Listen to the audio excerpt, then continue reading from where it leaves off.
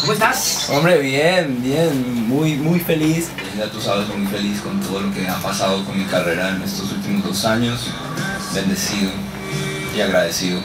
Ya van dos años, Manuel. ¿ah? Sí, ya desde afuera del planeta, que la lanzamos Noviembre. a finales de 2014. Noviembre de 2014, Sí. por aquí más o menos. Ah, Correcto, así bueno, es. ¿Cómo te sentiste en tus visitas a México?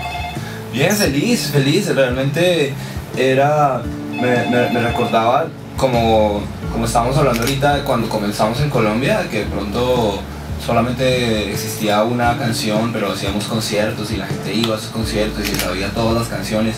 Creo que lo mismo está pasando hoy en día en México. Nosotros acabamos de lanzar el disco en México y hicimos una, una pequeña gira por cuatro ciudades y en todas las ciudades los, los conciertos que hicimos estuvieron sold out, la gente se sabía todas las canciones era, era casi la misma euforia que, que, que sentíamos, en- que sentimos en un concierto como de los que hacemos acá en Colombia, entonces realmente en ese momento es como si México fuera mi segundo hogar.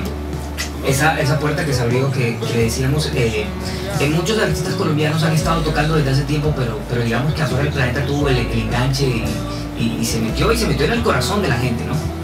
Sí, ha sido, ha sido tremendo, ha sido tremendo. Fue el planeta y, pues, la mayoría de los canciones del disco, como que se ha conectado mucho, mucho con, con- con estas letras. Estamos, estamos lanzando ahora una y otra vez, que es el tercer sencillo.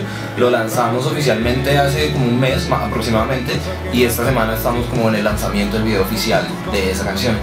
Bueno, y eso, eso también es importante. Ese lo rodaron en México, ¿cierto? Ese lo robamos en México, en, un lugar maravilloso a cuatro horas de Ciudad de México que se llama San Miguel de Allende, con una modelo, la modelo del video es, es una actriz colombiana, caleña, que está radicada en México. Y fue muy especial, fue un video que grabamos entre amigos, eh, que habla como de lo, lo bonito que es poder conquistar a una persona con tus palabras, con tus canciones. Eh, es, es- es más que todo eso, pero fue, fue una gran experiencia en. En el, en el álbum hay canciones que he escrito desde el 2008 a la fecha. O sea, imagínate, Bajo el agua la escribí, fue de las primeras canciones que escribí cuando empecé a escribir canciones, a, a- las en el 2008, ya, ya hace muchos años. También, no sé, algunas canciones que conocen las he escrito en el transcurso de estos años, 2010, 2012. ¿Quién fue primero, fuera del planeta o bajo el agua? Fue primero Bajo el agua, Bajo el agua, afuera del planeta la escribí en el 2013. Sí, nueva, la más reciente. Y la escribí en el 2013, la lanzamos en el 2014. Ya con el tiempo y después de escribir afuera del planeta, como que decidí grabarla como sencillo y cuando se grabó como sencillo de pronto fue que, que tuvimos ya el apoyo de Radio Tiempo, pues ya como que la canción era, estaba, estaba ya grabada, ¿sí? Producida.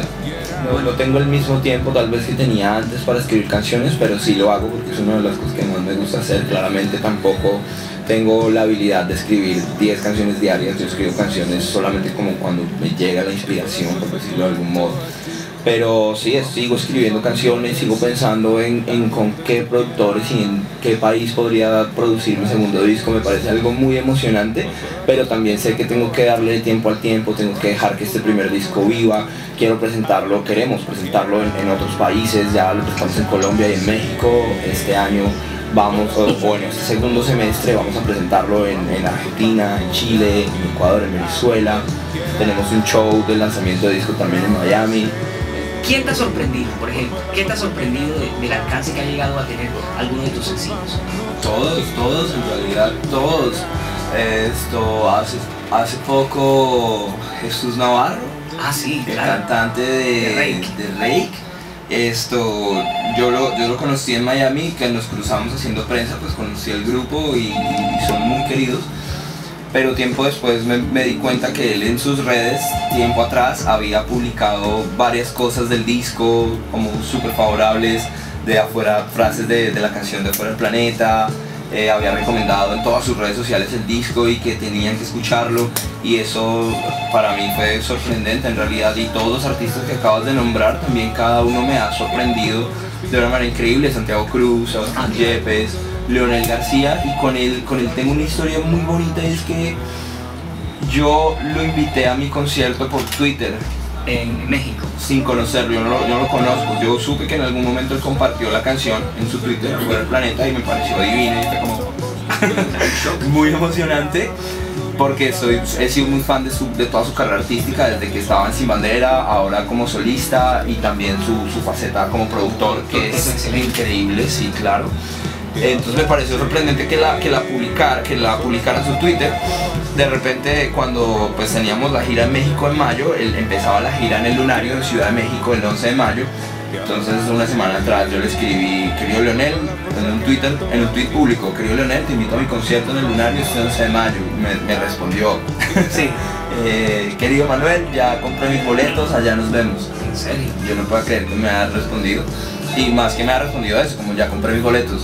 Entonces me, me fui osado a decirle como que si no quería cantar fuera del planeta conmigo y me escribió como déjame checar. El mismo día del show me escribió que, que sí, que de una, que si yo quería, que sí y que si no, que igual que no había ningún problema.